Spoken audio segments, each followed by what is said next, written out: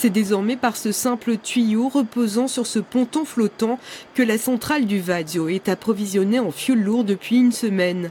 Une solution de secours, l'appontement fixe était déjà vétuste. Avec la tempête Adriane, il est inutilisable. Alors jusqu'à tout récemment, on utilisait effectivement l'appontement Saint-Joseph que vous voyez ici sur ma droite. Euh, sauf qu'on a eu à peu près mi-janvier un avis provisoire urgent de l'expert euh, mandaté par la collectivité qui a interdit les opérations et l'accès à cet appontement complètement.